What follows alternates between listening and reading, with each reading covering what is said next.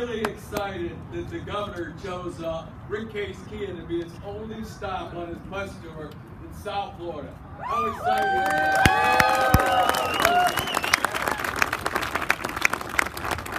Over the past five years, the Governor Scott's policies have helped our company grow dramatically. For, with four new stores here, four new dealerships here in South Florida. Uh, and our, our sales have gone since the governor's been in, six hundred million to over a billion dollars.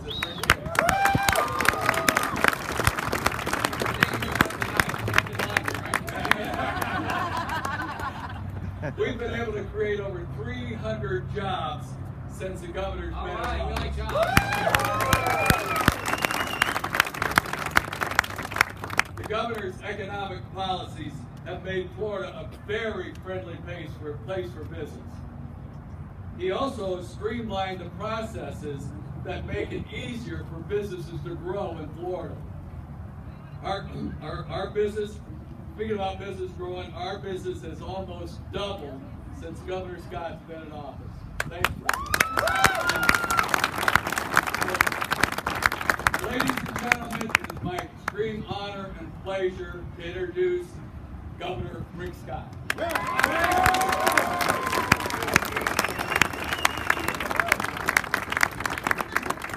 So if you know if you're going to be around Rick or Rita or Raquel, it's going to be a, there's going to be a lot of energy. So um, this is it's great to be here tonight. And every time we've uh, we've come to one of the dealerships, uh, when the Rick Case automotive dealerships, they're always packed.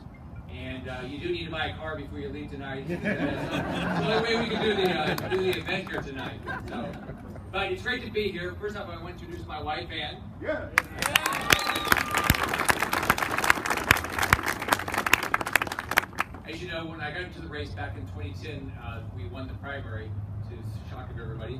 And uh, the music that you just heard was the first music we heard when we came out. So it's always a nice day when you hear that music. So because uh, something good happened.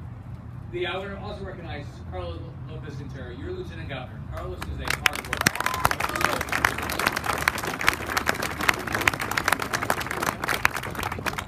Carlos has a wonderful family. He's got a wife and two uh, young daughters. Ann and I had two daughters, a little bit older. We have four grandsons. Uh, but uh, Carlos was majority leader my first two years in office. And all the things we started with that we believed in when we got elected, cut taxes, reduce regulation, all those things started because of Carlos's hard work. And he came to work with me two years ago as your lieutenant governor, and we've had unbelievable growth since he's come on. So thank you very much, Carlos. Now we have a variety of people that are here. The, the Sunrise Mayor, uh, Mike Ryan. We've had we've had the opportunity to do a lot of events, uh, a lot of events together. So congratulations. Broward has a great economic development team led by Bob Swindell.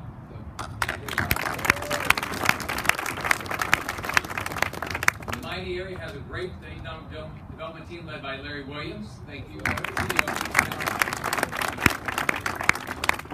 think Tom Parker's here, so you need to buy some umbrellas before you leave. He'll talk in a few minutes. He's got a great company.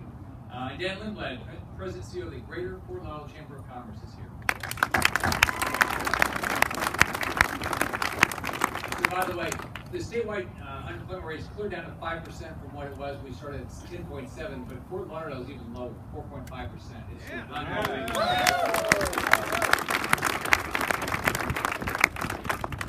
So Rick, as you would expect, we talk a lot about their dealerships, and he's got a lot to brag about. What Rick and Rita have done, they've just done a great job. With dealerships in Florida, unfortunately some are still in Georgia and Ohio, but uh, I don't know why they're still there. Everybody I know from up there is moving here.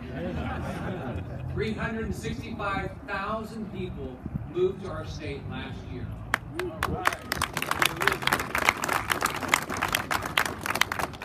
But uh, they've got over a thousand team members here, and they just do a great job.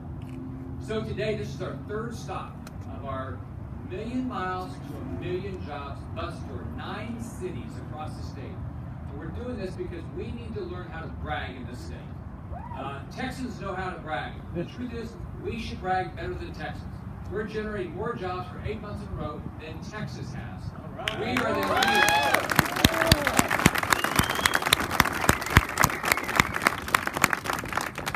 Third Friday of every month, we get our employment numbers. and I call Rick Perry, the governor of Texas, and let him know that we've beaten them. And uh, to put that in perspective, the four years before I got elected, the state lost, our state lost 800,000 jobs. They gained jobs. He does remind me that he's no longer the governor, and it never happened while he was governor.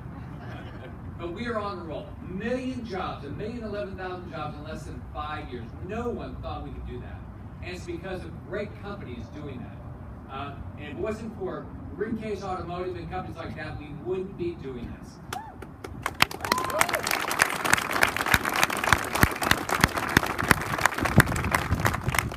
So we love people that put money back in this, this uh, market. We love people to put money back in the state. We like the fact that they like our tax cuts, reduce our regulation, and that's why they're adding more jobs here. We have over 20 million people living in our state now. We're bigger than anybody here from New York. Yeah. We're bigger than New York.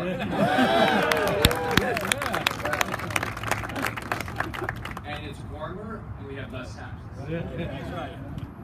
And we have 300,000 job openings. I'm sure there's job openings at Rick Case Automotive also. We have 300,000 job openings in this state right now. We are on roll. Now, we've got to keep this up. Yesterday, we had we, the start of our legislative session. I did my State of the State address, which is like the State of the Union address. And we talked about why are we doing this? If you think about it, we all care about our neighbors. We all do this. We all we are building businesses. We want to take care of our customers, but we like everybody around us. If we want to take care of our state, the weakest, the poorest, the most disadvantaged, help them live their dreams. You know what you want to do? Give them a job. People want to work. That's what this state is doing. So we want to make sure that business businesses like Rick and Rita's grow in our state. How are we going to do it? We're going to keep doing what we've been doing for the last five years. We're going to keep cutting taxes. We've cut taxes 50 times. This year, we're going to cut your taxes by $1 billion.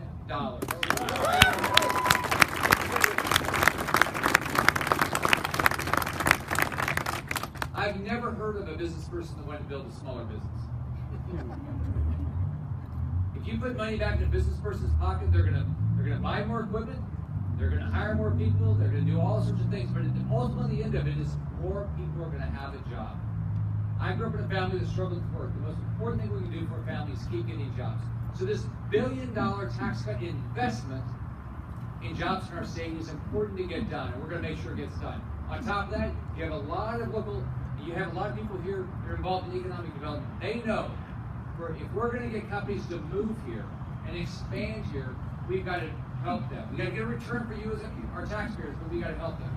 That's why we're going to invest $250 million in economic development in the state, and we're going to get a return for all of our taxpayers. It'll create more good paying jobs for Florida families.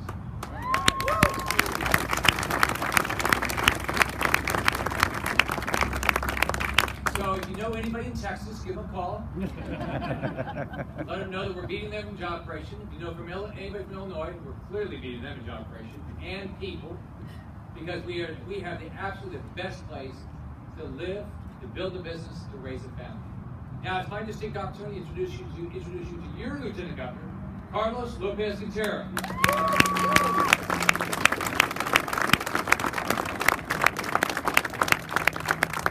You know, it's always a treat to talk about jobs and tax cuts with Governor Scott, but it's a special treat to be able to spend time with the First Lady. Because, you know, the governor's a handsome guy, but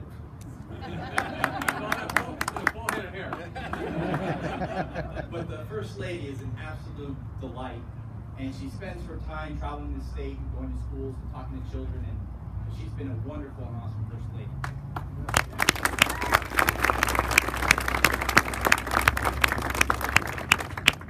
We have some more friends here that I'd like to introduce. Uh, Mike Ryan, the mayor of Sunrise.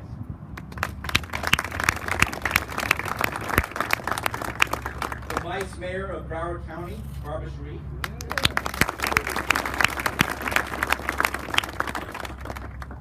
His name is Ron, but they call him Alligator Ron. Ron.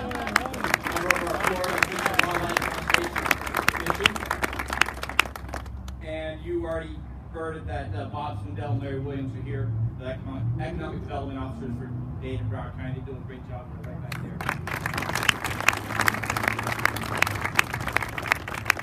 Ladies and gentlemen, we live in the greatest state in the greatest country in the history of the world. And yesterday we heard from the governor in his State of the State address. We heard another State of the Union address from Washington yesterday evening. But they were two different messages. See, Governor Scott's message yesterday was about accomplishments and results.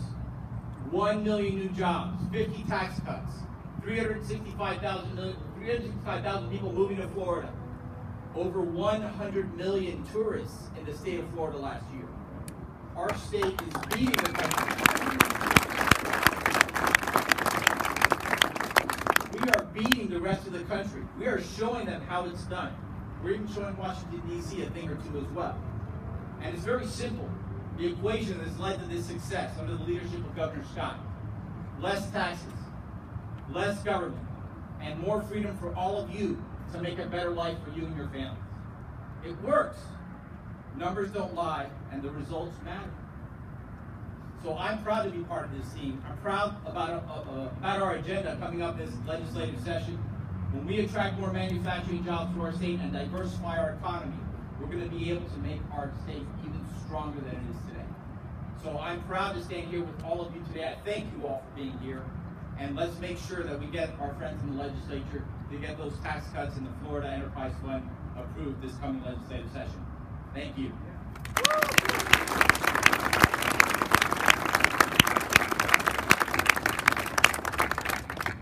Every time I see Sunrise Mayor Mike Ryan announcing jobs.